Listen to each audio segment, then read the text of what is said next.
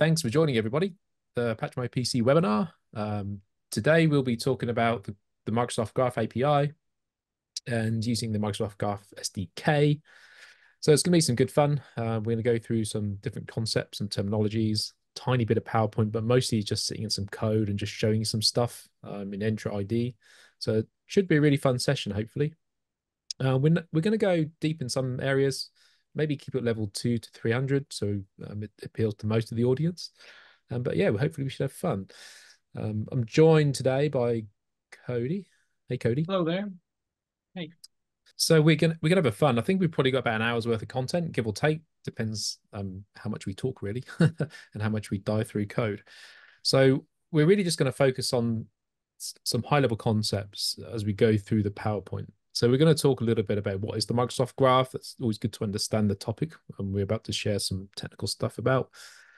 Um, we'll talk about what a REST API is, just to give those who don't really know what it is some familiarity. Um, we'll talk about authentication and authorization. Um, so this is something that's often misunderstood. And when we talk about that, we'll also talk about scopes and what is a scope and how do they apply when we're looking at a delegated auth flow? What do they mean? Um, some of these topics as well on authentication and authorization we'll talk more about as we go through some code examples and walk you through Entra ID as well. So if you think, well, hey, Ben, that's pretty light on content in the PowerPoint, um, that's purposeful because we don't want to spend ages in PowerPoint. Um, and then like the main reason today is we're going to talk about the Graph SDK. We're going to use some SD Graph SDK commands, talk about why the SDK is good, talk about why maybe you wouldn't want to use the SDK and use some native calls to the graph instead to say most of the time we're going to spend it in the lab. So we'll start off by just calling out um, what is the Microsoft Graph. And really, it's been around for quite a few years now. Um, I think most people are familiar with the term if you're working in the Azure Entra Intune space. Um, so really, the graph, um, if you think about it as a single endpoint, so it's a REST API. Um, it exposes multiple REST APIs in the background and client libraries. And every time you access a, a, Microsoft 365 service, whether that's Office 365, Teams, um, Intune, um, you're going to be hitting the Graph API through a client app. And that client app could be a browser, that could be Outlook. So it's a unified single endpoint that all communication comes into um, that exposes all of those other REST APIs in the background. Um, so before the Graph endpoint, really, um, admins use multiple um, different APIs to talk to. So if you use an Exchange admin and use the Exchange Online Management um, PowerShell module, you're connecting to the Outlook.office.com API endpoint. Um, if you're connecting to SharePoint, you connect to a different endpoint and you'd maybe have a different PowerShell module for this. So really Microsoft just tried to unify everything into this single endpoint. And to be honest, I think it works pretty well if if you've um, if you're here today, just like I really want to dig into graph, I really want to learn the fundamentals, um, and some of the, the, keywords and buzzwords we use today might not be familiar. Have a look at um, graph.microsoft.com. Um, so graph.microsoft.com. I'm just going to play a video here just to show you how to get to it. um, there's a link on here for fundamentals for graph. Like really cool place to start learning about the graph. Um, but yeah add that your one thing uh one thing that's good to note about graph the microsoft graph right is that's microsoft uh, consolidating everything for you, right? Uh, they're they're taking everything and presenting you a set of endpoints. There still are backend services for all of these, right? They they have internal Intune graphs, internal Azure or uh, you know Exchange Graph APIs that are getting leveraged as part of this. Right? They're they're presenting you a set of endpoints to consolidate it all. So there are different infrastructures and different sets of teams that are working on all of these. Uh, you might have put in a support ticket at some point and you know you you went down the wrong rabbit hole of clicks and like sorry yeah i know it's graph but you actually have to talk to this team. Uh, there's some nuances to all of it for sure. So it's, it's changed over time but i think it's largely changed for the better uh, to the extent that they can at this kind of scale. Yeah 100% um yeah, spot on. And so like when we when we talk about the graph, we really want to talk about how we interact with it. Um, and it's just the same way you'd interact with any REST API, really. Um, so the graph supports common HTTP CRUD methods. So create, um, replace, update, delete. So again, these may be um, words you're familiar with. So uh, one method might be get, where we, we're going to communicate with the Microsoft Graph API to get some data. Um, so in here, we're talking about reading a data from a resource, and, and that's known as an idempotent request. So when you do a get request, you're always going to get back the same data. Um, we can do posts where we can create a new resource or perform an action. Um, when you do a post to Microsoft Graph, it's non-idempotent, so you're always going to be posting something different. Uh, it's going to end up as something different in the graph anyway. It could be a different content version. Um, we can do patch commands where we update an existing resource or just some specific values on a resource. Um, put will replace a resource entirely in the Microsoft Graph, and we'll show some examples on that. And then delete as well, where we remove a resource. And whenever you're kind of working with all these APIs, these are standards. You know, it's it's up to whoever is presenting you these to to kind of follow those standards. Uh, there's a bunch of ISO standards and fun numbers and and things like that that define what these should look like. Uh, but at the end of the day, you know, you, you can commonly make these do whatever you want. Um, you know, a, a, post can have no body at all and return data to you. It doesn't matter. Uh, but when you are developing these or when you're working uh, with these, there are some things you'll definitely want to keep in mind. Uh, you know, for example, one thing we note there is that a get doesn't have a body, uh, but that doesn't mean you can't provide any info to a get.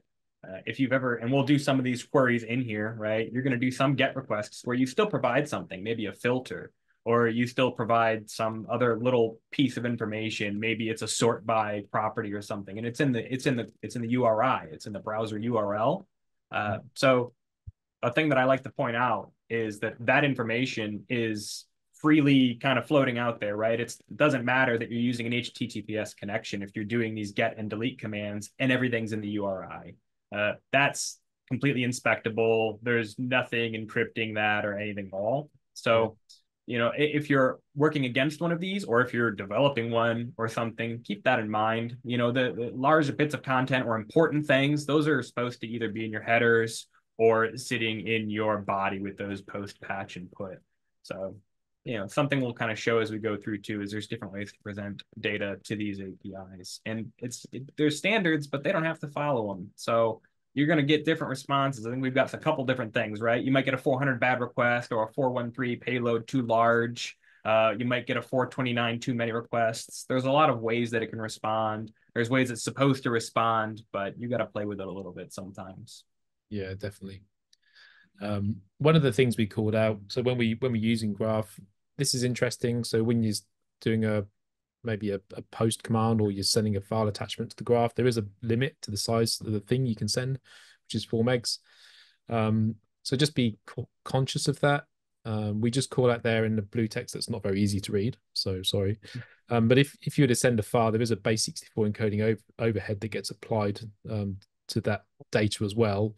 So you probably your file size might be limited to maybe three and a half megs or so by the time you've got the base 64 encoding around it.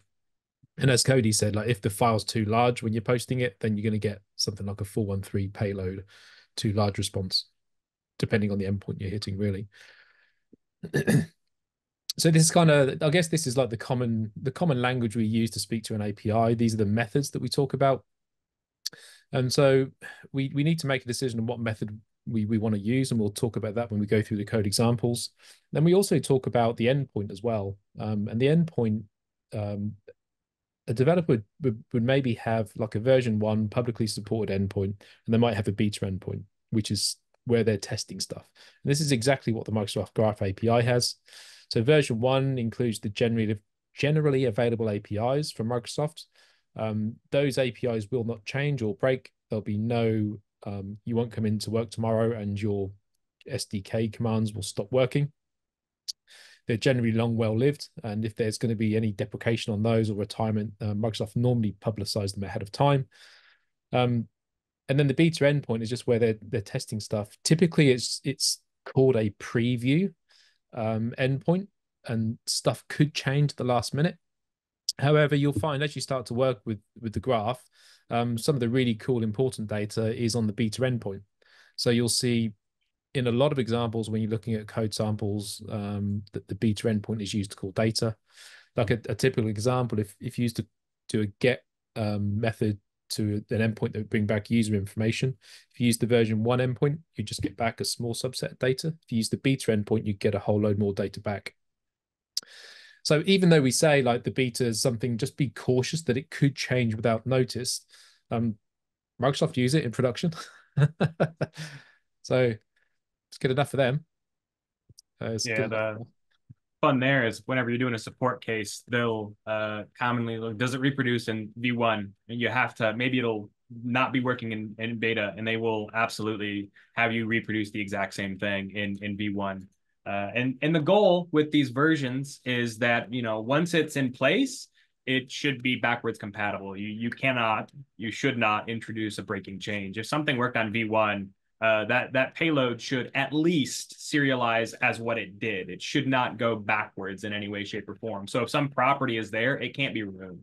Uh, it, you can add properties, but you cannot change things. You cannot change the the response. You know that's that's really bad practice when it comes to an API, uh, especially something publicly available. Yeah, and I guess you have to be you have to think about kind of everybody's working at different speeds. So you you may be like something funny called out in chat that Intune itself has been in test since production, since it was introduced. It's quite funny. Um, but if you think about how developers work, so um, the, the Graph API is being developed and and the backend services are always being checked to see whether they're optimal and they work with the Graph API. You know, are the endpoints speaking to each other correctly? And then you've got the front end developers developing the um, the software we're looking at. So it could be the Intune admin center. And it could be that um, all of the really cool stuff that they want to build really cool stuff is only exposed through the beta endpoint. And they haven't really done enough stress testing on the beta endpoint to move it into V1.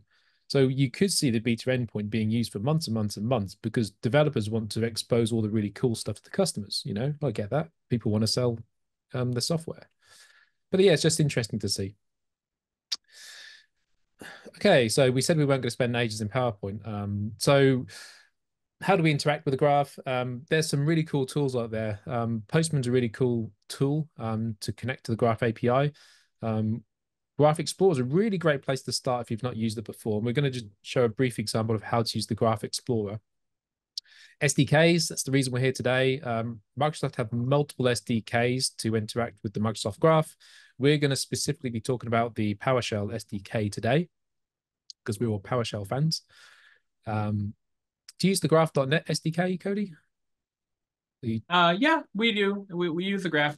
It yeah. uh, we've done projects with it and we've done projects without it and interacted with graph. So it makes things a little bit easier. You're subject to uh, you know, the, those packages updating. There's been times where we've started to work against the the beta APIs uh, where the endpoints are there and the metadata has changed, the new classes are available, but the SDK is not updated yet, right? Yeah. So we'll we'll go in and make our own bits and pieces to start interacting with that.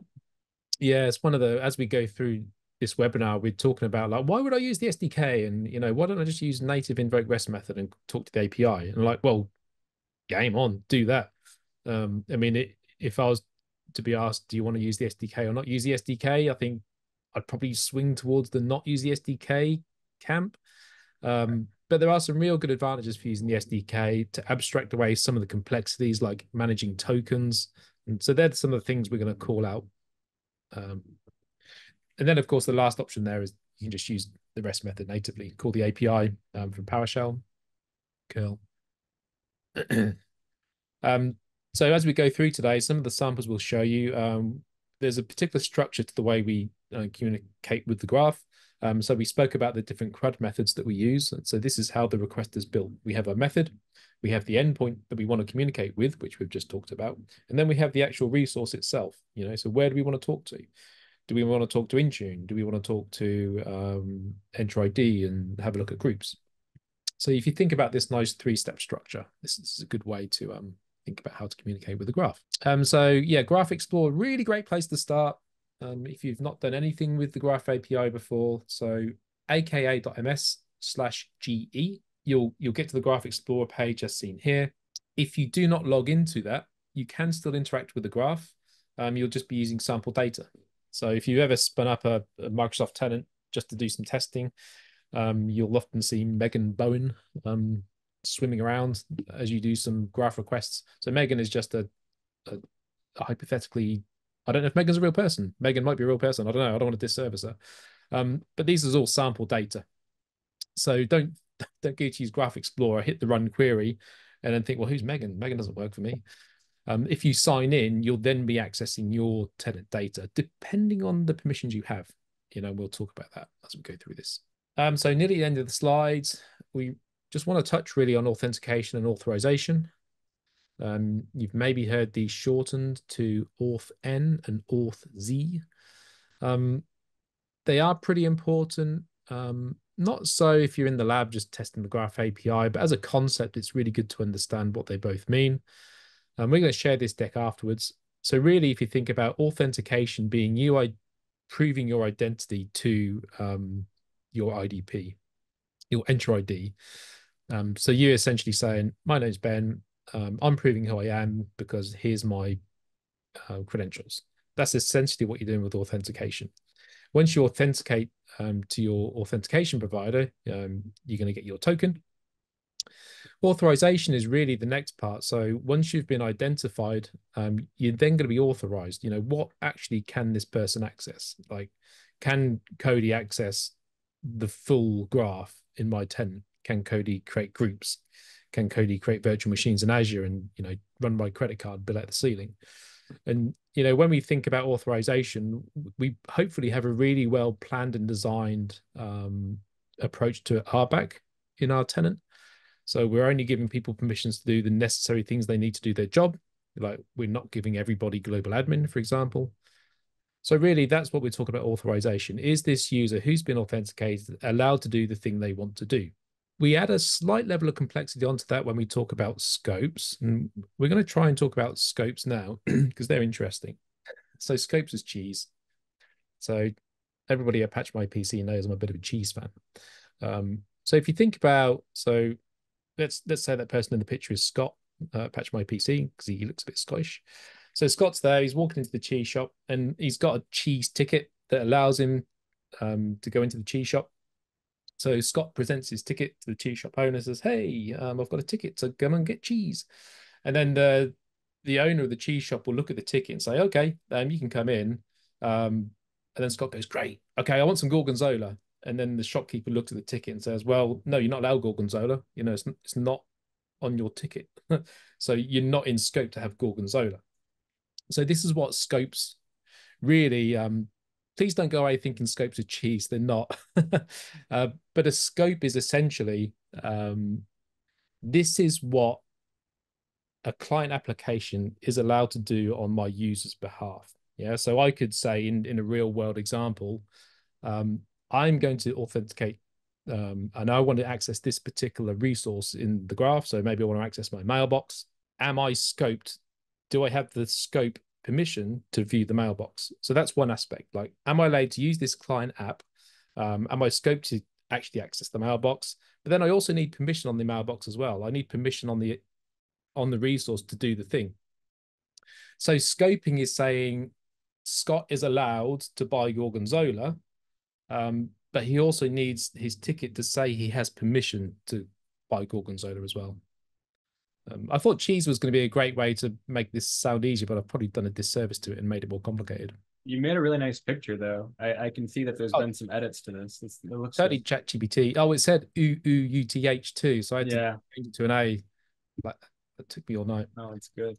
Uh, so uh, with the authorization and authentication, uh, if you've worked in some of the other parts of of you know information technology you might have ran into AAA right? The the other part of this is accounting.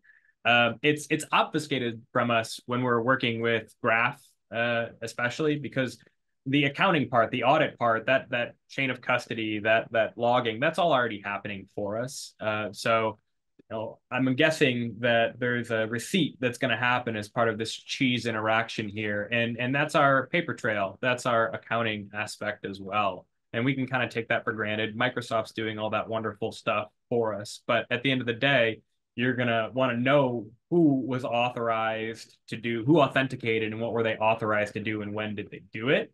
Uh, and and that kind of all comes together. You've got that token that helps you uh, be identified, and that's going to also tell you what were you able to do, And then it's up to you to do the accounting of what you actually did to add that additional logging. And that's what the graph takes care of for you. Yeah.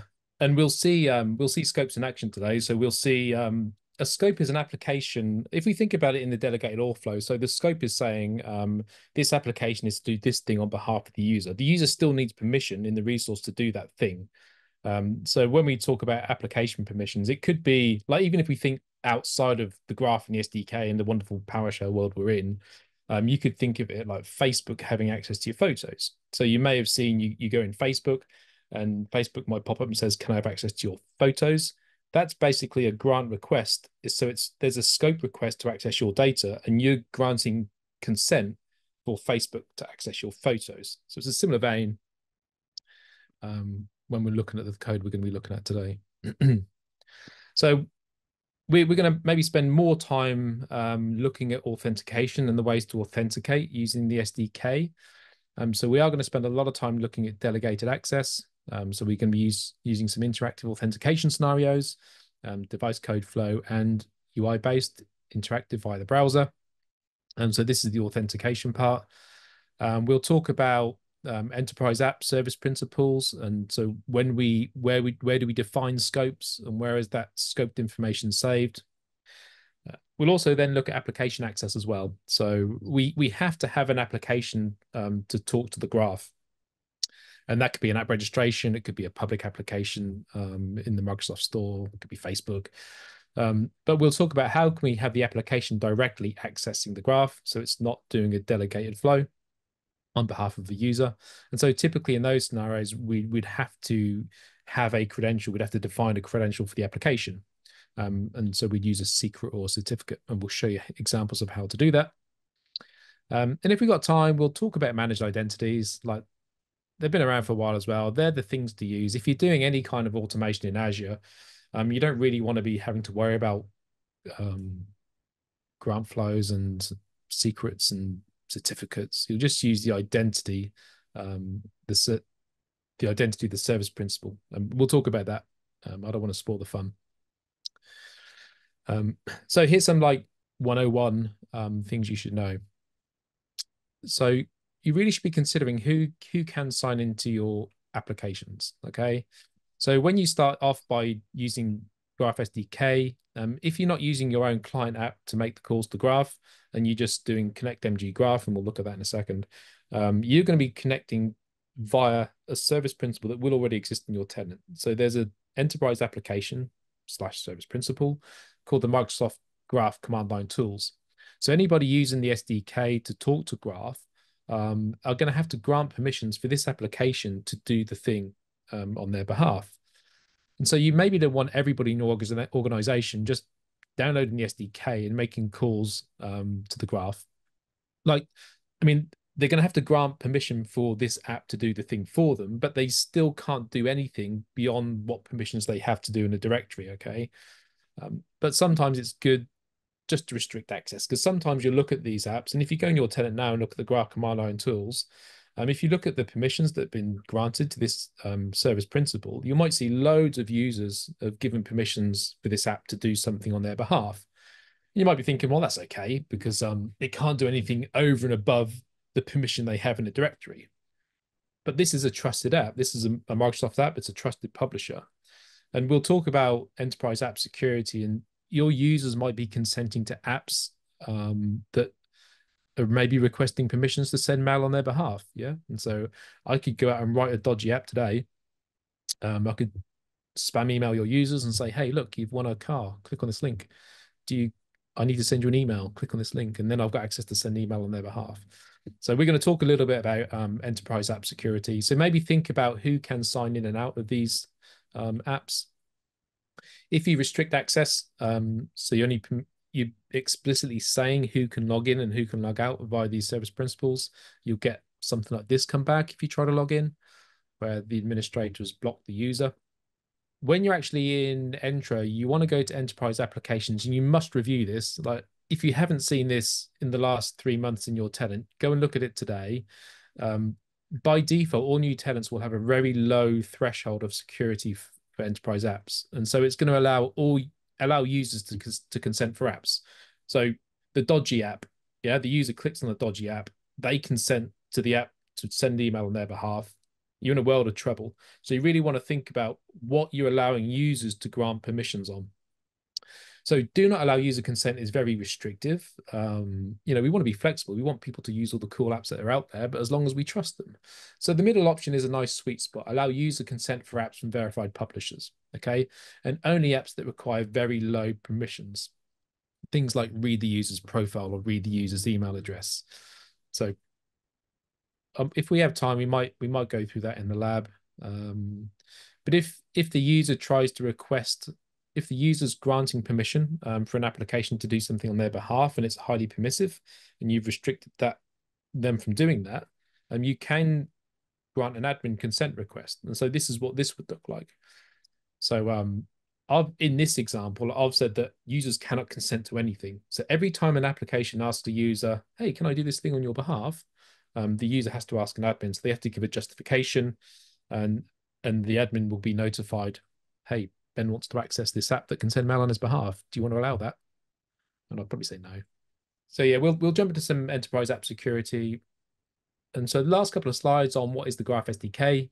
The Graph SDK provides pre-built methods to interact with the graph and abstracts away much the complexity that comes with using native REST API calls. I think I chat GPT that. That doesn't sound like me. Um, SDKs generally try to make things easier for you and generally they do until you want to start doing some more advanced stuff. Um, and we'll we'll show some examples as we go through this. Um, there's a link there. If you access the resources in zoom you'll see a link there to have a look at all the sdks there's loads of them. We're going to be looking at the powershell one specifically. And here's like here's an example of why the sdk is really cool.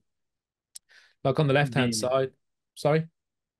Uh, the the one interesting thing with the SDK is that a lot of it is generated by Microsoft based on mm-hmm. metadata.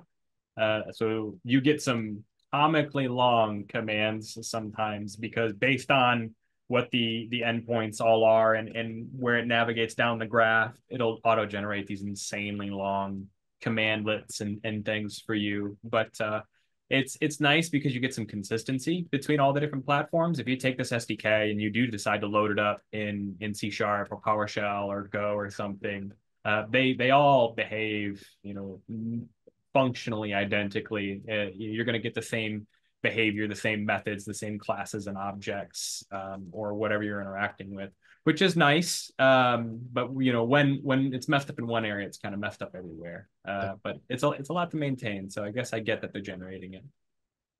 Yeah, and like it's really there for simplicity. So uh, the example here is, if I was using a native REST API method, um, I would have to do the token handling myself and I'd maybe have to worry about once I get the access token, what happens when it expires? Do I have to re-authenticate? Do I need to worry about the um, refresh token? How do I manage that? And you have to think about all these things as you're writing code. And sometimes the SDK just handles that for you. So the authentication is really simple. Um, it handles the refresh tokens for you, giving you new access tokens if you need them. Um, really good at handling pagination for results coming back from the graph as well. So I think um, let's jump into it. That's enough PowerPoint. Um, there's a there's a link in the resources. All the code we're going to show today, we've anonymized it. So I've taken out all my client secrets for my lab. And so you can access that on our GitHub. There's a picture of our GitHub. Right, let me share, let me go into VS Code.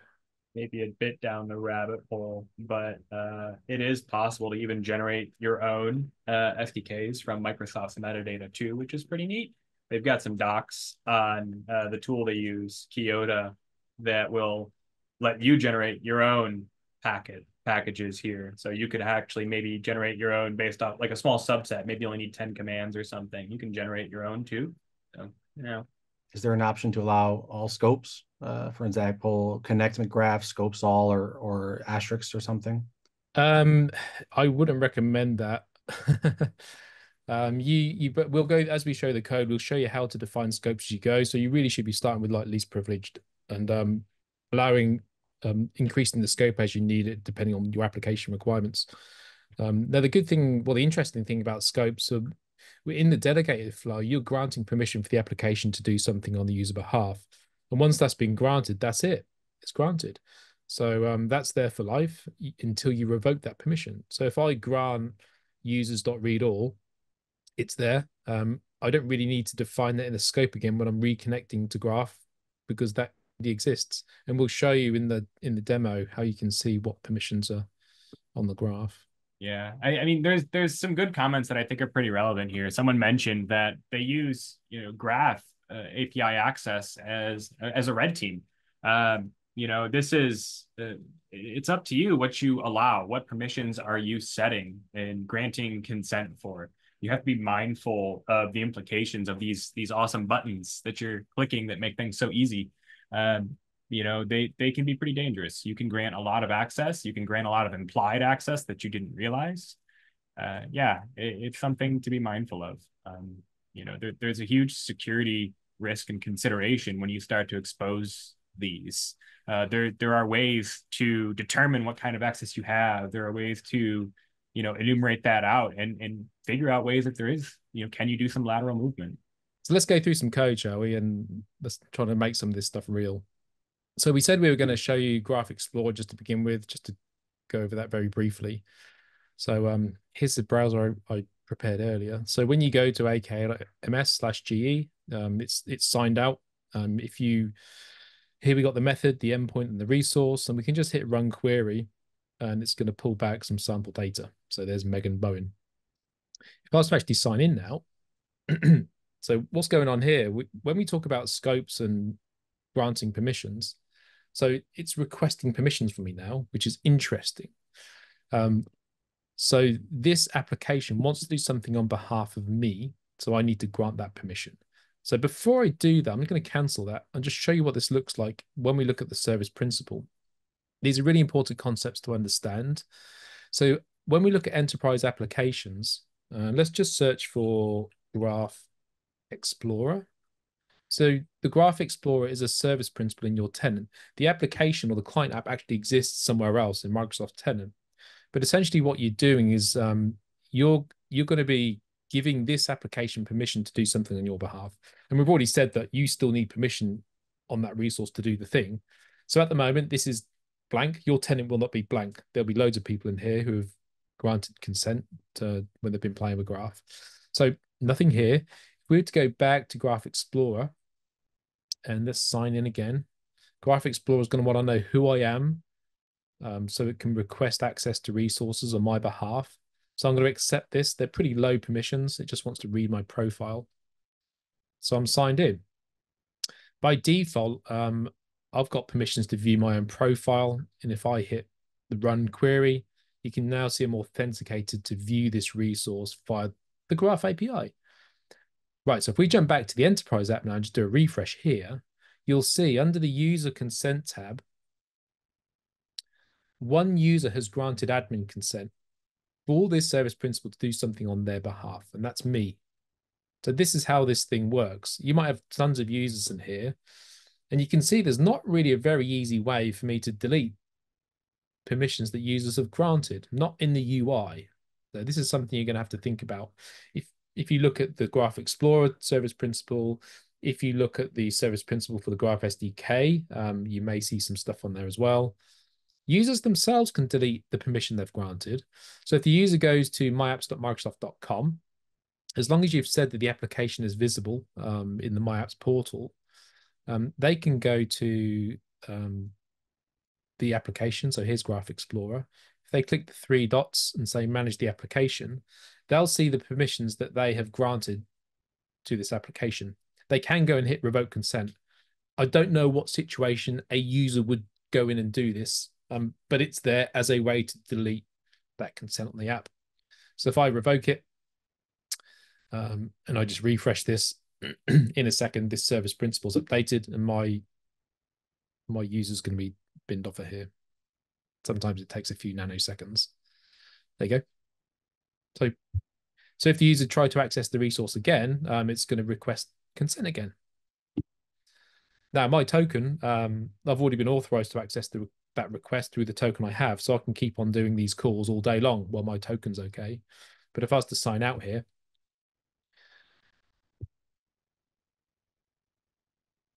I should have rebranded my tenant to cheese or something before the demo. That'd have been much better.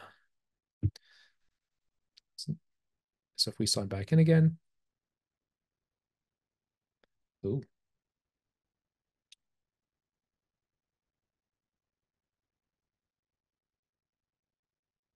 No thanks, Bitwarden.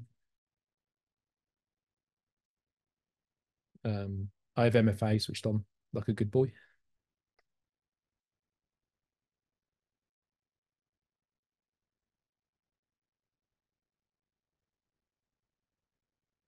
There you go. So it's asking me permission again because I removed it. Awesome. Okay, but we really want to we, that. We really want to focus on the SDK. Okay. Um, but Graph is a really cool thing to start to learn how to do stuff. Now the SDK is huge. Yeah, if you used to just go say um, install module Microsoft Graph, um, it's it's a big beast. Like six and a half thousand commands. Like I generally just install the modules as and when I need them, um, especially if I'm working, if I'm using um, any automation in Azure and I have to actually install the modules on the resource I'm using. I don't want to put the whole the whole Graph SDK on there. So just be specific with the modules you need. Um, if you're in a lab, just install the whole thing. It's fine. So in our example today, I just want to do some stuff with the user. So I'm going to install the module um, for Graph users and authentication. So it's just telling me it's already installed, which is cool. Okay, so I've got the Graph SDK installed. And the, the first thing I want to really do with the SDK now is do a connection um, and get a token. And really, this is where you want to think about what kind of scopes you're permitting um, that client application to do. So when we're talking about just connecting via the Microsoft Graph SDK natively, and we're using the connect mg graph command, which you'll use a lot. Um, that is using a service principal that already exists in your tenant. There's an enterprise app, um, and that is called the, if we go back to enterprise applications,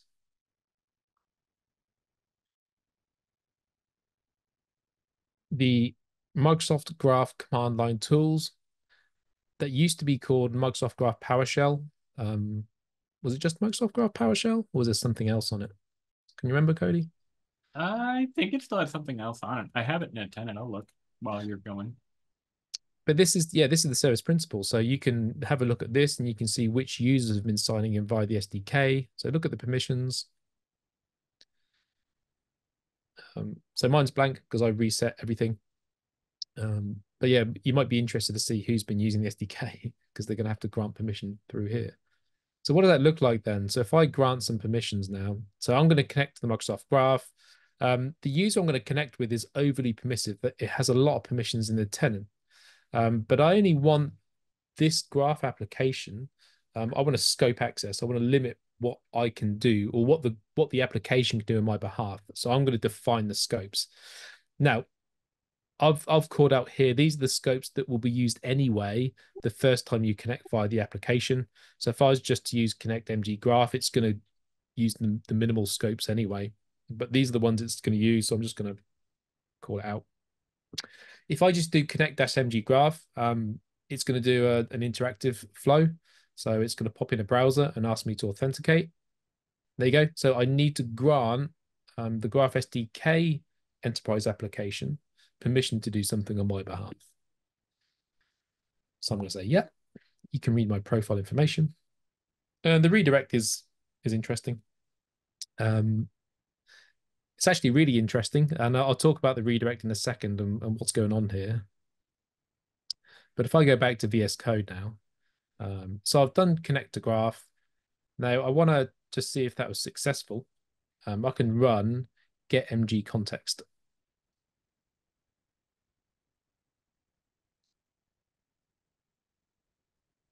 Did that connect to the graph?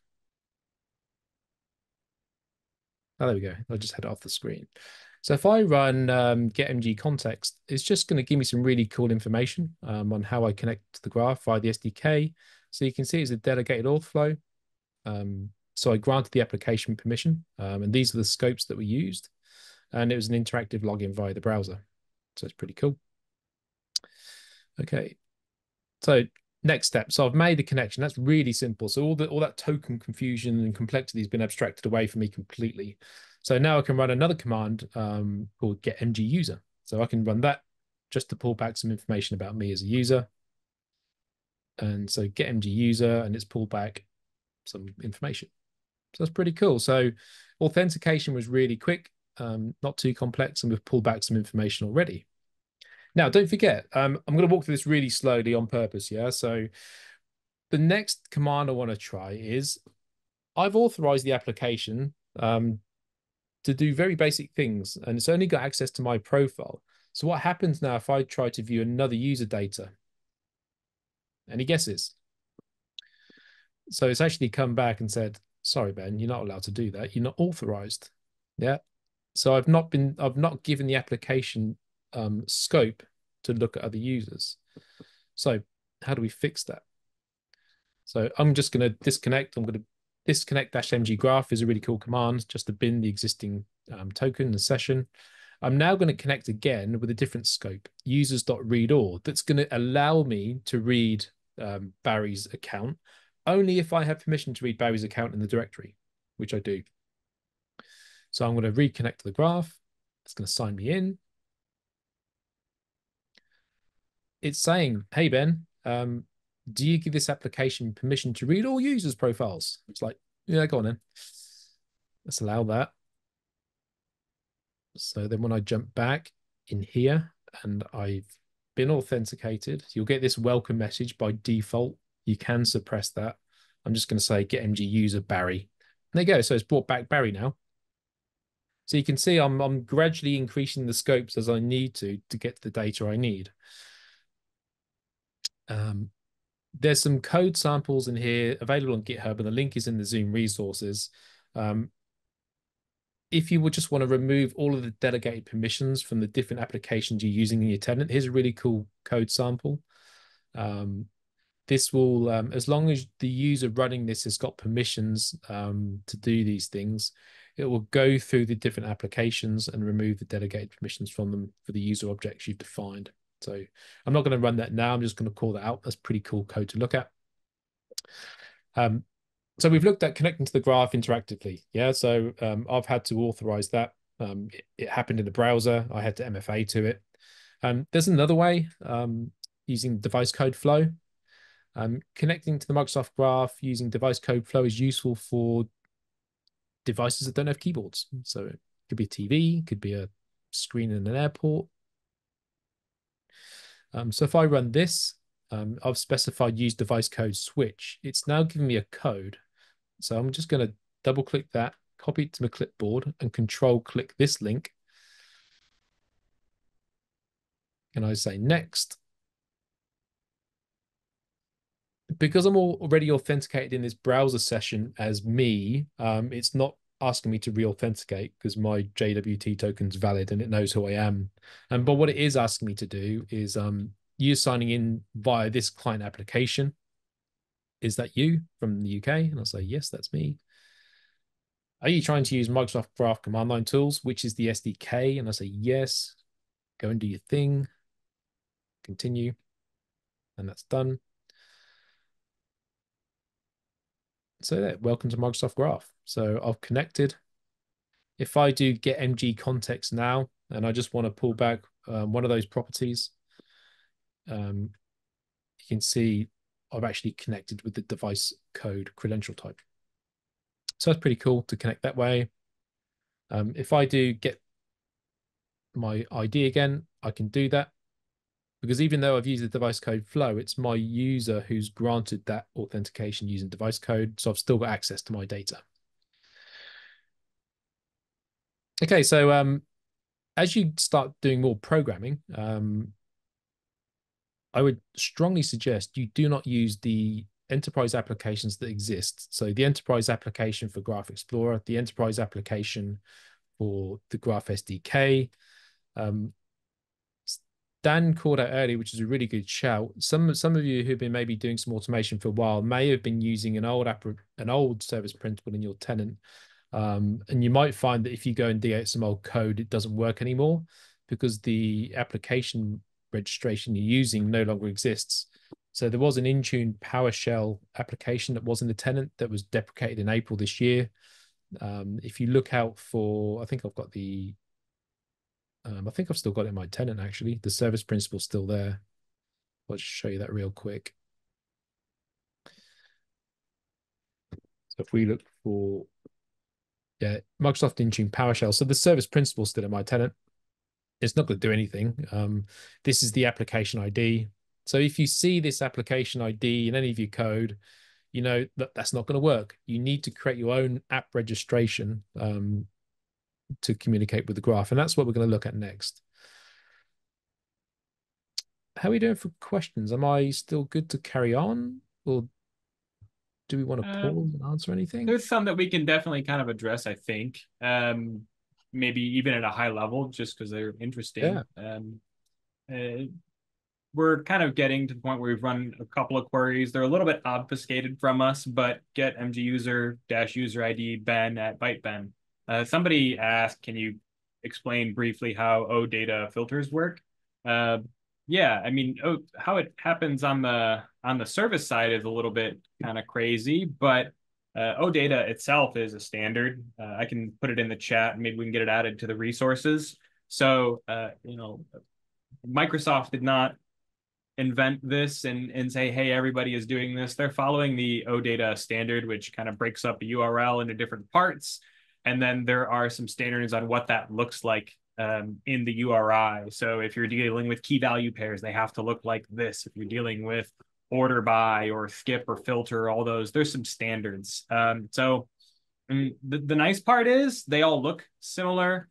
Uh, but where things can get a little bit weird is that uh, it's on the service side to support that. Um, there are some advantages to OData in that you just you kind of get some given to you by default. Uh, if you implement on the back end kind of your OData standard, uh, some of those things are just going to automatically work every time you stand up an endpoint, but other things aren't, and you're going to have to actually implement them. But uh, yeah, uh, you know, there, there's a basic doc on on all the OData standard itself. Um, on the backside, that dash user ID is probably doing something like dollar filter equals and then username EQ Bennett byte Ben, right? And it's it's doing it for you on the back end. That the SDK is doing some of the heavy lifting for you in constructing filters. Just like uh, you know, when you're doing a lot of other things, whether it's like your AD commandlets, um, we're just obfuscating it. You know, we're, we're taking a step back and giving you something simple. Um, cool. I know one thing that's come up a couple times in a couple of different ways is um, running. We've done a lot of interactive stuff here. We're gonna move towards some non-interactive stuff as we go through here a little bit, whether that's managed identities or certificate-based auth, some things that lend themselves more towards non-interactive. So yeah, that will get addressed as we go. Uh, don't want to curtail right into it because there's a little bit more content, but it is a thing. We will show that. Um, yeah, and I, I saw some questions around reporting on because we've mentioned highly privileged, right? There's some risk here. Um, I don't know offhand, and maybe Ben does, if there is a report on these uh, types of permissions. But one thing I do know is that you can um, query for them. You can filter for uh, who's using them.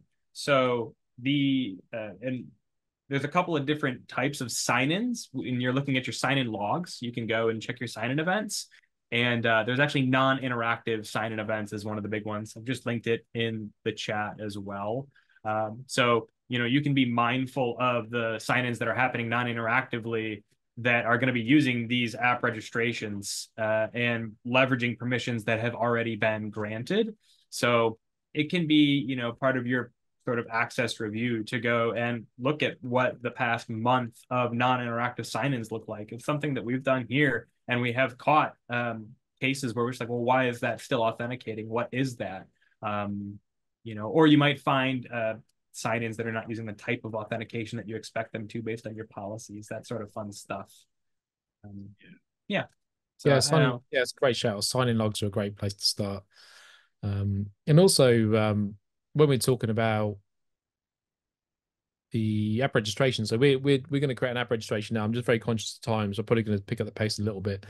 Um, the really like looking at manifest is quite cool. So the manifest is basically how the app registration is created and the makeup of it and the permissions that have been um, granted. um, to it. So this is this is quite cool as a snapshot. You can call this stuff out from Graph and review it um, so to see who's been assigned what and what roles have been granted. Um, but really, what we what we're moving to now is we're using our own app registration. And the reason we want to do that is because we want to maybe give more granular control over who can access this specific app that does this specific thing um, with our data. You might have multiple app registrations you want to create because they do different things, and you want to assign different users to the different apps that do different things. So um, while while the the existing service principals are okay, like the Graph Explorer and the SDK service principals that exist. They're okay to test on. Um, but as you move to production, I would strongly suggest you use your create your own app registration to do the calls um, for authentication and authorization. So we've we've created an example here, Patch My PC webinar.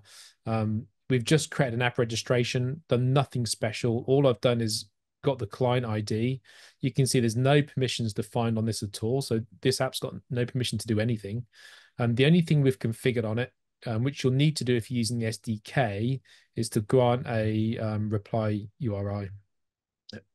So redirect URI, sorry. So the SDK must have um, HTTP local host. Um, we we caught this during testing, didn't we, Cody? Hey, MSAL listens on this, and we can probably show yep. show this as we do the next code snippet. I think so, and if I can as well, if it doesn't come up here. So I'm I'm going to just call out these variables here. So this is the ID for the application that you've just seen in Entra. and um, that's my tenant ID. Um, we've called out in this code snippet that we need to have that redirect URI. I'm going to disconnect my previous graph session. And then I'm, instead of using an interactive flow, I'm actually going to specify client ID and tenant ID. And now I'm authenticating via my own application. So I need to grant permissions for this app to do some things. I can close that. No, I didn't want to close that. I wanted to show what was in the address bar. Yeah, you're too fast. Dude. Sorry, I should run into it too if we got time for when I do it. So I'm going to authenticate. Here we go. So why do we need to add a redirect or URI to localhost? Because something's listening for it on a device you're connecting from. Did you ever did you ever run netstat? Could you see that listener? I didn't take the time to. No, no. So uh, it is kind of interesting. Yeah, when you when you do this though, when you're running it, um, you're you're creating uh, the actual client itself locally. Um, so I'll show some of the SDK code here, and and you're actually creating something that's that's running and it and it binds to a port and it's listening, and so your browser then can actually talk to it, and then they have a local secure connection uh, where they can chat in between with each other. Uh, so that lets you go off to the browser, even though that's not where anything is actually happening. You know, we we talked a little bit about device code authentication, which we'll we'll try to show. Um, and and that's separating things out a little bit, right? I'm I'm going to give you a little bit of information here, and I don't really care where you provide it. Uh, but when we're doing that interactive authentication session, that'll have to happen locally. You're creating something locally that's listening, and then you have to be able to get to it. You have to be able to talk to that local host port which isn't exposed externally. Um, so just it's different ways that they've actually uh, exposed credentials and authentication over time, uh, whether it's device code or local or some silent token acquisition, that sort of thing. Cool.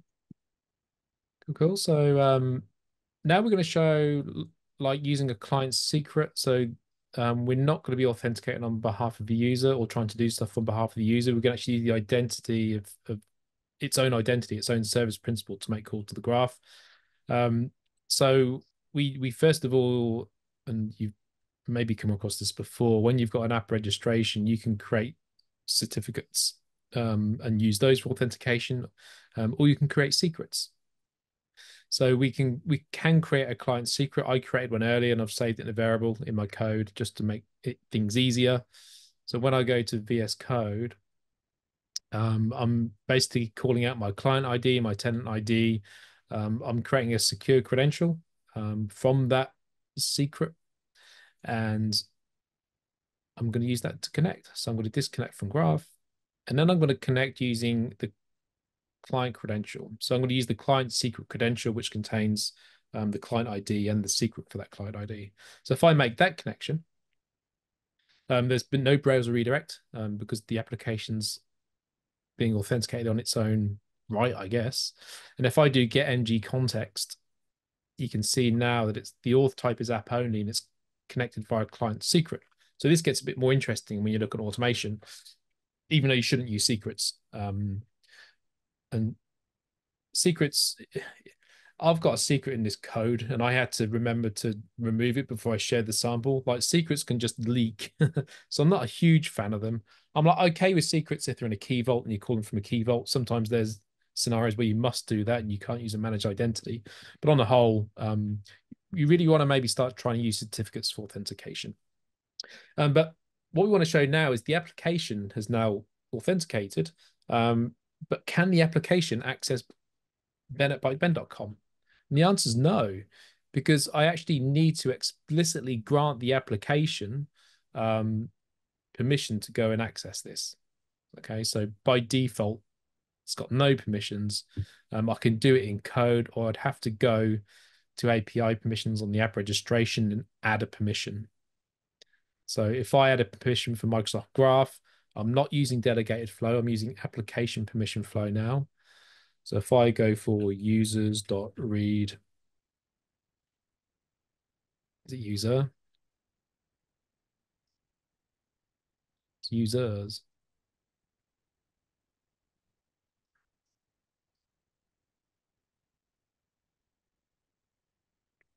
Where's the users gone? Hmm. Isn't it user dot read? I thought that was. There you go. User user read or I don't know why my brain pluralized it. Um, so I've added the permission. The application expects this permission to be granted, and it's not. So I'm going to grant consent. And so now if I try and do the same thing with the application again, so I'm going to have to disconnect and reconnect.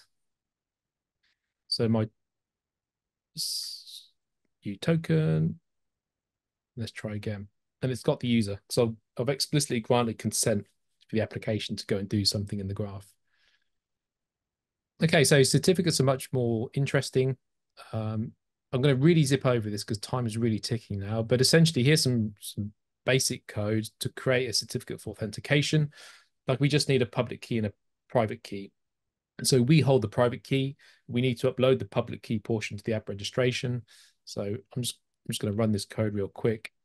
Um, so we're going to create a new certificate. I'm going to mark it as exportable. Um, if it doesn't need to be, be exportable, don't mark it as exportable. Um, I'm I'm going to want to use this certificate in Azure Automation, so I want to export the private key so I can import it in the key vault. Um, but what I'm going to do now is just export the public key for this certificate onto this device into a folder. Um, um, let me just export the PFX while I'm here as well. And this will be a way to set up non-interactive auth, right? So a certificate is effectively a, a, you know, you can authenticate with it. It's as good as a password, um, assuming that cert's trusted for that purpose. So you create this, you set it up, associate it with that app registration. Uh, you can store that certificate in the vault. Uh, and then at that point, it's on you to grant the thing access to the vault. So maybe you've got a managed identity that's being used or certain whatever in your Azure automation runbooks. Uh, that's going to have access to the vault. The vault contains the cert. You've got, you know, end-to-end uh, unattended, non-interactive automation. So certificates is definitely a good, a good option there. Hundred percent. So this this code is just is created a certificate in my user store. Um, I've also that code snippet, which uh, I'm not going to step through because we're really short on time. Um, I've got the public portion of the certificate here. Um, and I've also got the PFX if I want to import that into Azure Automation or Key Vault. So I'm going to grab this one now and just add this to my app registration real quick. So go back to certificates and secrets, um, upload a certificate. So I need the public key, which is in that folder, and say add. So there's my certificate I added today. So now let's try and authenticate with it. So I've already got the certificate in a variable um, in my VS Code session. So I, with the Graph SDK, I can either choose to connect, I can use the whole certificate blob to make the connection, or I can specifically use the thumbprint or the subject. So it doesn't matter which you use. So I'm going to use this one. It made the connection to Graph. If I get MG context, you can see that here's the full certificate blob that was used to authenticate. And it tells you that the token credential type was client certificate. So the client certificate's a much better way to make that connection, even if you're doing testing, in my opinion. You don't have secrets floating about everywhere. okay, so um, we're approaching the end of some of the code examples. Um, that's really a good way how to authenticate. If you're starting to use more advanced stuff in, in Azure, so you've got automation accounts, we can still use the SDK. So let me flip over real quick and show you. I've got an automation account in my tenant. Um, and I just want to talk through this real quickly. So I'm going to call out the runtime version um, of this account straight away. So I'm running 5.1.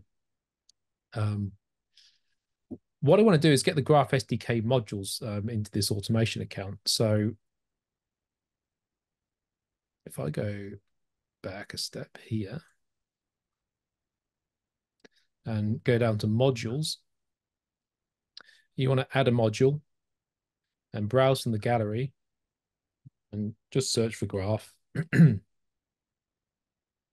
so in my examples I've used today, I've used Microsoft.graph.authentication and Microsoft Graph.users. I really don't want to be pulling the whole SDK into my automation account. It's going to take forever to load. So I've just got these two um, small modules. Um, what I've also done um, with an automation account, you can call a credential from a key vault, or you can actually upload it as a resource. So on this automation account, I've uploaded the private key um, here. So, so this is the private key. Um, so when I make a call for one of my runbooks, uh, if I find one of my runbooks here, I've got two with this account. The first one, if I edit in the portal, so very simple code. Um, it's get it's going to get an automation certificate, which is a resource um, on this runbook. You can see it here down the side. It's got the private key. I'm going to use the same app registration I've used in the previous samples, and I'm just going to do connect MG graph. Um, and then I'm going to run a command, get Barry, get the context and get Barry. So if I run this in test pane, um, let's see if that works. While that's running, like um, I really, there are probably some edge cases using the SDK for authentication from an automation account you're probably going to want to use a managed identity. It's much simpler. And if we've got time, we will do some managed identity stuff, but we are definitely ticking.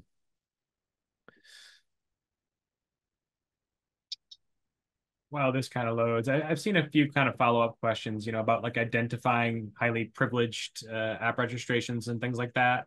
Uh, I, I really don't know that there's anything in your face native for a report. What I do know is the data is there um, poking around a little bit. I mean, I do see some community samples out there, but I don't, I'm not going to run them and suggest them right now. But definitely there are some commandlets like get dash mg service principal that are going to help you go find these service principals. And then you could see the list of permissions. And it's up to you to then define what is a high priority permission enumerate through those maybe generate some you know reports you could re- use azure automation uh, to to do this, right? And you could you could set up some scheduled thing that's running and gets your list of all your service principals uh, has a list of things that are highly privileged, and kicks out your report.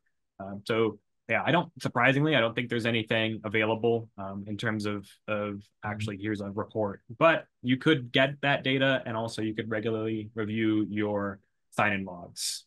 Really good advice. Yeah, definitely if if you're concerned that you've you've got a very over permissive admin environment, um, maybe you've only just really implemented RBAC and there's a lot of historic permissions being granted.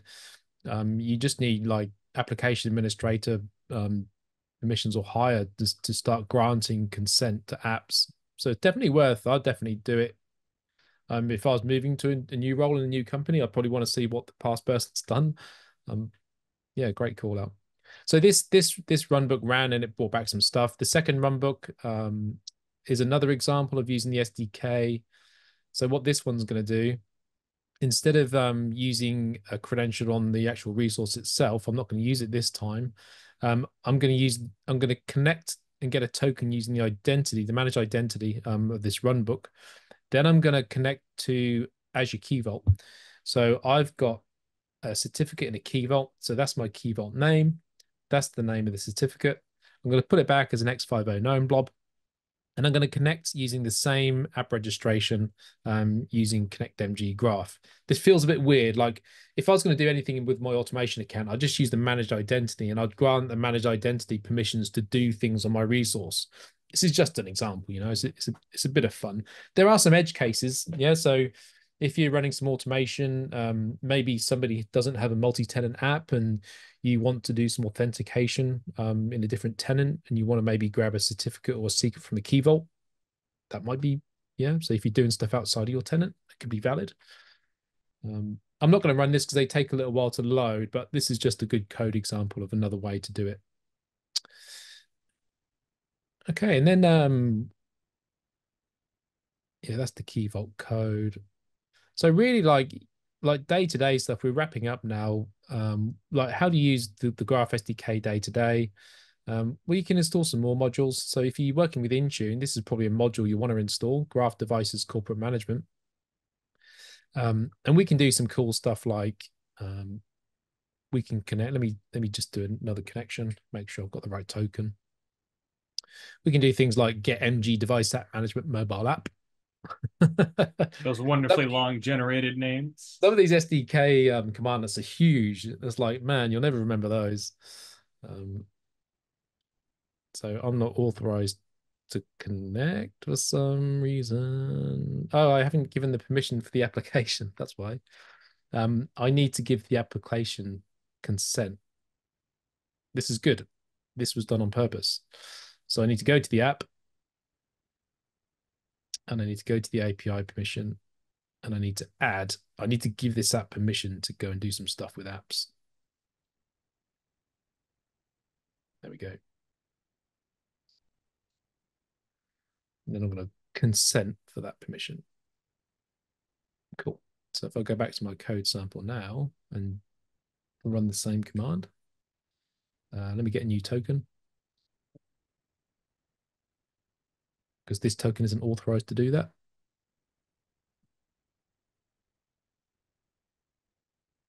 So it's pulled back 364 apps using that commander. It's like, okay. Um, and then you just start digging into it and playing with it, really. It's good fun. So we can use the same command that we can add a filter. So I'm going to look for Win32 line of business apps and just measure how many of those are in my tenant. That's cool. So that's now brought that figure down to 70. So they must be like a ton of iOS apps and Android apps. Um, you can do stuff like using filters, you can sort the results, you can select like the first 10 results and pull those back only, um, which is a pretty cool thing to do. You can do some other stuff like, uh, because this is being pulled back the by the SDK, it can actually be pulled back as a PowerShell object. So you can do some where object um, filtering on it too. So I'm going to say like, let's just pull back all the Win32 apps we have and let's just show the Microsoft ones. And um, there we go. So it's displaying all the Microsoft apps in my tenant. Well, that's cool. Um, then we can move on to some other stuff, like if we want to start patching some stuff. Um, so I'm going to use get MG device app management mobile app command again. So I'm going to get an app called CM trace in my tenant and pull it into a variable called dollar $app. So if I look at this application, I'm going to change a couple of things just for give you an example of what you can do. Um, so there's there's my application I've just pulled back. Um, so I'm going to do a couple of cool things like I'm going to change the return code. So I'm going to I'm going to say zero does a hard reboot because I'm I'm nasty like that. I'm also going to change the name. So again, the SDK's pulled this back as a PowerShell object. I'm just going to update the display name part of the object. So if I actually run, um, see what dollar app brings back. So it's brought back all these different properties. Um, I'm just going to update the display name property. Call it Patch My PC Webinar app, the app formerly known as CM Trace. um, so I've changed it. I'm just going to create my JSON payload now to update. Um, so I'm just going to include the, because I'm doing a patch, I'm just going to include the property I've changed. So if we run this and just have a look at what that JSON payload looks like. Um, there you go. It's just a very simple. So a patch command is just going to change this one property.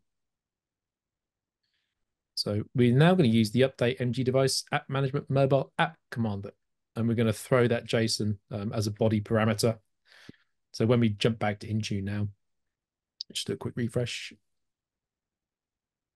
And you're going to see JSON a lot when you're Yeah, dealing yeah. with APIs in general. Uh, Yeah. you know, it's just a format that has been generally decided on. You don't have to use it. Like the depends on the service, right? A service can totally accept something else. There's a header that you can set for content type that tell it what it is, but graph, it's it's it's JSON. Uh, and it's can be a little bit, I don't know, daunting in a way. It's some other file structure. Maybe you already have uh, XML or or YAML or who knows what already engraved in your brain. But uh, yeah, JSON's its own thing. Um, PowerShell has a lot of commandlets that help with it. We're using some. There's convert to JSON. There's convert from JSON.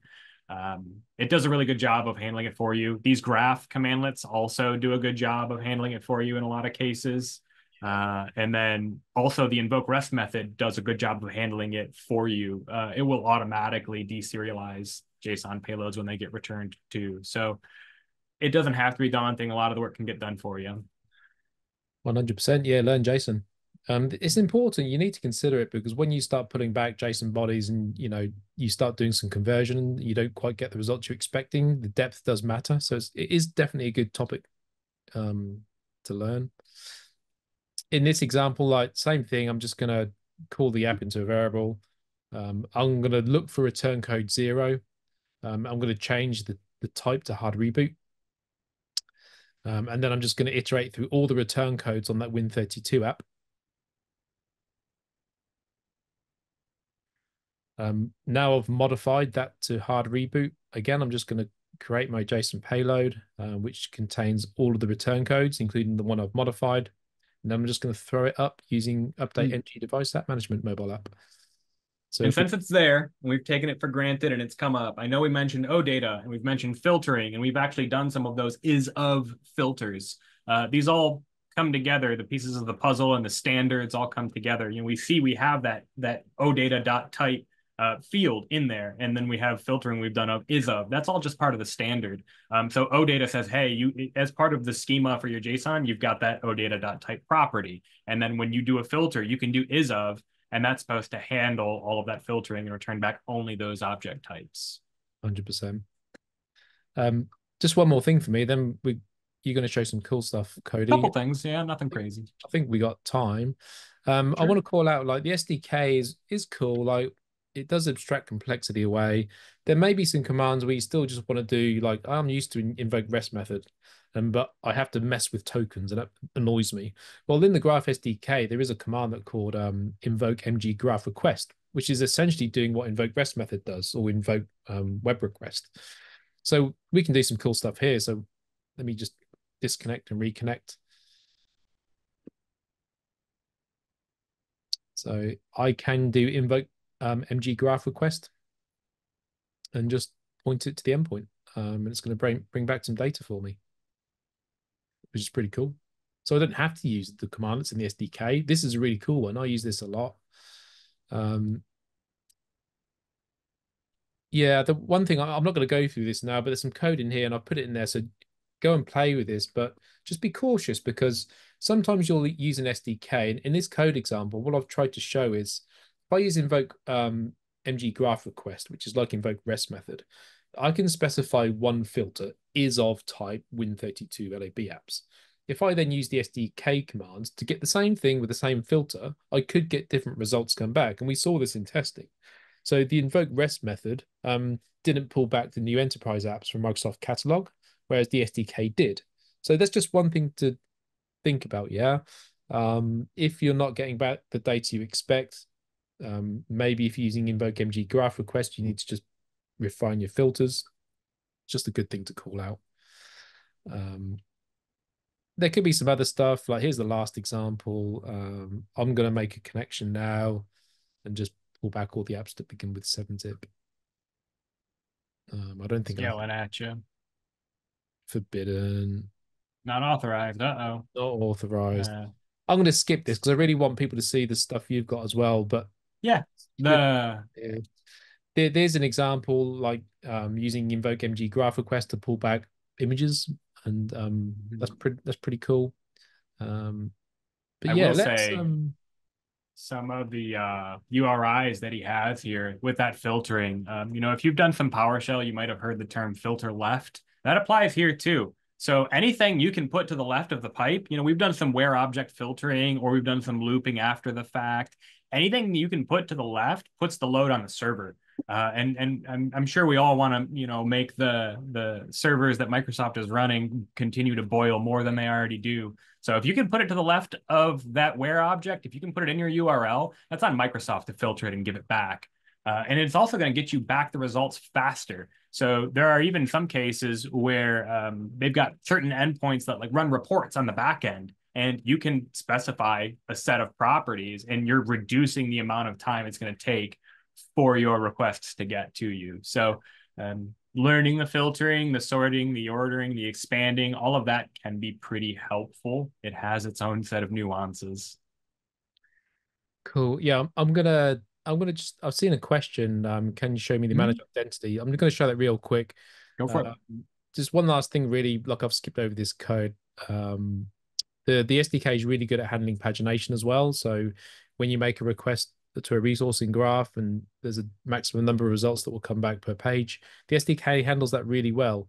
And so this snippet um, is just shows you like the SDK bringing back some results and how you would do that manually and paginate through results using um, the invoke MG graph request instead. So that's pretty cool.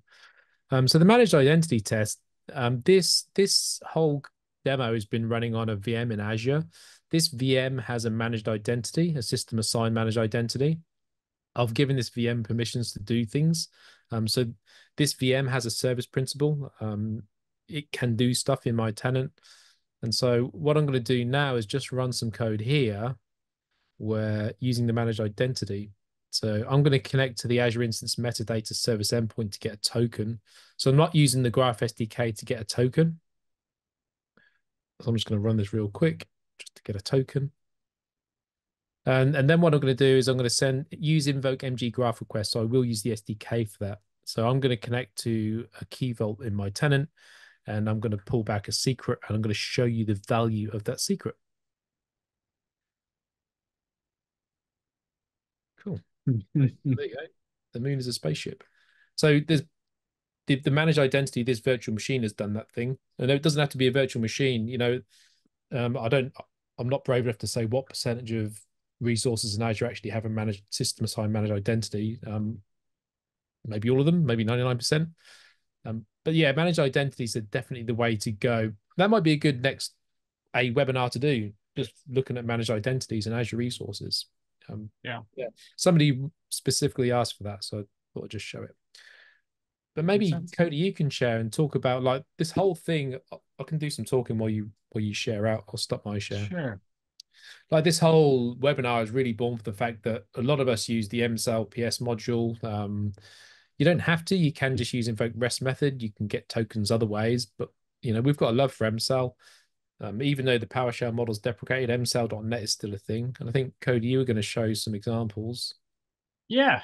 Okay. So uh, I just have VS Code up here in light mode, uh, just in case. Yeah. So with here though, I'm going to do something kind of interesting. Um, I'm I'm going to use uh, DLL from a, a NuGet package. So um, in this folder, all I really have is a quick little script. There's just some snippets in here. Uh, what I'm actually going to do is make a whole new .NET app. Uh, this is uh, as quick as that. Just .NET new console app. I've actually made an entire hello world application. Um, you know, it's got a CS proj file that defines what framework and, and all that fun stuff that just gets auto generated and we take for granted. Uh, but the reason I'm doing this is I can leverage sort of the existing bits and pieces and framework that we have for NuGet packages. So I've created this project. And then I've actually added a NuGet package, .NET add package Microsoft.identity.client. This is the MSAL library in .NET. Uh, so if you're using C Sharp or VB.NET or some other .NET supported language, then you could add this package and start interacting with MSAL. Uh, so what I'm going to go ahead and do is build this. And when I build that, I should actually get in my bin folder now, I should see that DLL. No, I don't want to open it, but I have microsoft.identity.client.dll. So I have a file now. Uh, I think we did a little bit of add type previously. Um, I'm, I'm leveraging existing DLLs here. Add type, you point to it. Um, this is a Microsoft redistributable um, as part of a NuGet package. Um, so use cases, it kind of depends what you're doing here. Uh, but the point being, I can do something very similar to what we've been doing with our SDK for PowerShell. Uh, I'm using the SDK for .NET. I'm just exposing it through PowerShell because you know they're, they're very interoperable. So what I'm going to do here is create something kind of similar to when you're getting that graph connection going. They they just call them client app builders. So I'm going to take this class, Microsoft Identity Client. Uh, I've got client ID, very similar to what we're already doing. You know, you're pointing at something, and then I'm telling it where to go. These are all parameters that we had before, uh, but it's going to give me something I can actually interact with. So I now have a public client app. And this has a bunch of methods on it, uh, if we look, a bunch of fun ones. So you can look at all the different like acquire options. And many of these are just different ways of exposing, like when you do connect MD, MG graph, if you look at all the options, you get a bunch of them. Um, but there's some interesting ones that uh, you know, acquire token async is pretty straightforward. Um, it makes a couple of different attempts. Usually I'm calling acquire token interactive at first. I want to prompt the user. I want to get that information. But even that has a couple of different options to it. Um, but we'll start with that. So Scopes are still defined. Uh, we've got that default. We've talked about and shown that one uh, a little bit. And then uh, we'll go ahead and snag, I'm going to authenticate. So we can see that it popped up a window pretty similar to what we've been doing. Authentication complete. We can also see that localhost. So this localhost 61557, like Ben had shown before, that that is this. This is listening. This builder, this client app is effectively, it's a it's bound to a port and it is able to listen. Uh, and I, I, have, I, have, a token. Uh, there is the expiration date for that token. Uh, now, what's interesting is once you have that, it's in a cache. So you can see these tokens, or rather, you can see the accounts that are in the token, the cache. So I have my public client app that we created earlier. I can now call get accounts, and I can actually see these tokens. Uh, so one of the other options on that was acquire token silent, uh, you can request to go ahead and get the token again if it exists. So I'm able to now grab that result and without even being prompted, I didn't have another browser window pop up or anything. It checks the token cache and gives you back an existing token. And we can see that there's some scopes that have been granted there and all that fun stuff. Um, and then you can do the same calls. Um, there is a nice little method on those results. Uh, for create authorization header, and it's going to give you the actual token in a format that you can use, like a bearer token, which is nice. Um, and also, on top of that, there are some options I think I mentioned when you're calling these. So it's up to you what you actually call. Um, there, you can actually force re uh, interactive actually is the one I wanted to show you. Yeah, there we go. So there's a few different things you can do. Uh, you know, there are, uh, for example, with prompt, you can change what the actual prompt should be. You can you can force them to log in. You can have it auto select. Uh, we can see the type that it takes. So anything that is in here, whether it's consent, no prompt, forced login, select account. So I mean, I can grab no prompt, for example. And what that will actually do Mm-hmm. If I can get my call to acquire token interactive.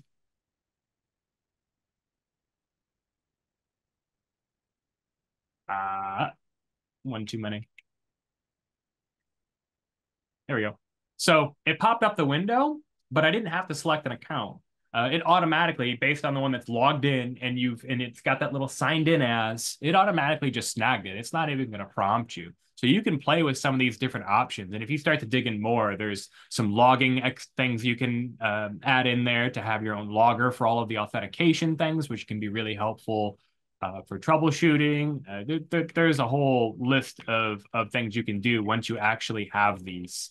Um, but you're really just using the SDK in a different way and then you're getting your token i mean you have this token and i think one nice part that ben um, had showed or mentioned was you can use these anywhere. Once you have the token um, you know i could go if i wanted and and make a uh, a graph request in like postman or something and there's going to be that'll be perfectly function functional. We go. Let me grab like my access token here. I have postman pulled up. If you've never seen it, uh, it's a web UI, and I think there's a tool locally. And lets you make post uh, REST calls. So this is that URI, like we've been seeing. You can slash beta in this case. Um, I'm doing a GET request. I'm going to go ahead and actually add some authorization. I'm going to dump in a token here. Uh, and then I do have some headers, but nothing excessive. I'm pretty sure it's pretty much all defaults. Um, and oh, there's a hard return in there, isn't there? There always is. Yeah, there we go. Hey, and there we go. We have my object uh, in a JSON format that is my user as me. I use my token that I got from MSAL and I made a graph call somewhere. Uh, and it can, I was able to get authorized. So there's a lot of flexibility. There's a lot of ways to get these tokens. Uh, you know, they, they've taken away some things, but there are also some alternatives. Uh, you know, we, we actively use these libraries for for lots of things. They've got some uses even outside of um, you know directly make interacting with Microsoft. Uh, there, there's some other methods you'll find in here that are good for some other stuff in terms of like serializing um, tokens and stuff. So yeah, a little bit off the beaten path, but I think interesting and, and related for sure. Yeah, definitely. Like um MSAL's still around. It's just the PowerShell um SDK that's gone, the PowerShell module, sorry. Um, so MSAL is still a thing, absolutely. So it's great that it's still alive and um, that we can still use it in code if we want to to get tokens. Yeah, for sure. Um, One of the uh, questions that we do have sitting there is is it uh, and I think it it plays into to the direction that this presentation really had ended up heading. Is it possible to combine REST API calls and PowerShell commandlet slash SDK in the same script? The answer is yes. Uh, I I think one of the reasons you're seeing a lot of authentication discussion here, uh, as it relates to you know the the, the deprecation of the that module, uh, is that authentication is one of the biggest components of all of this. You just need to be able to to have permission to do the stuff. The stuff you do has not changed, uh, right? All of the graph uh, things you do have not changed. The objects haven't changed. The endpoints you hit haven't changed. Um, they've just made it a little bit more, uh, well, not difficult, but they've changed the way you authenticate, which can really throw a wrench in things. So yeah, absolutely. Uh, once you've got a token, it's fair game. Make whatever you call via whatever mechanism you want. You can go call a Go library that hits the. It doesn't matter. There was a ton of content to go through, and um, we we covered a lot of areas. We did focus heavily on authentication and enterprise app security and service principals and scopes and um, hopefully that was useful. Um, it was enjoyable to do the research for this, um, look at different code samples. It was nice to spend some time in the SDK. Um, I'd probably use it more than I used to before. I think I'm still a fan of invoke REST method personally. Um, but yeah, there is definitely a place for the SDK, 100%.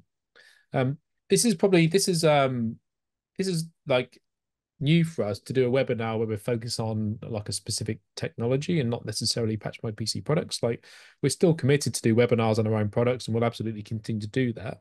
Um, but it'd be cool to get some feedback, whether it's on Twitter, LinkedIn, Facebook, and all those social media channels. Like if you enjoyed this or if you've got any ideas for some more content you'd like to see, definitely let us know. Yeah, thanks for everybody backstage as well, supporting the webinar. And thanks, Cody, for joining as well and helping with it. It was great fun. yeah, yeah take care. Thank you.